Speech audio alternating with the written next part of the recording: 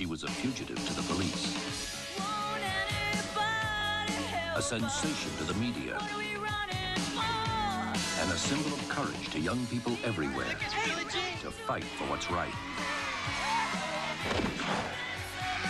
Where is she? Everywhere. The Legend of Billie Jean, directed by Matthew Robbins, featuring Pat Benatar's hit song Invincible, rated PG-13. Starts Friday at a theater near you.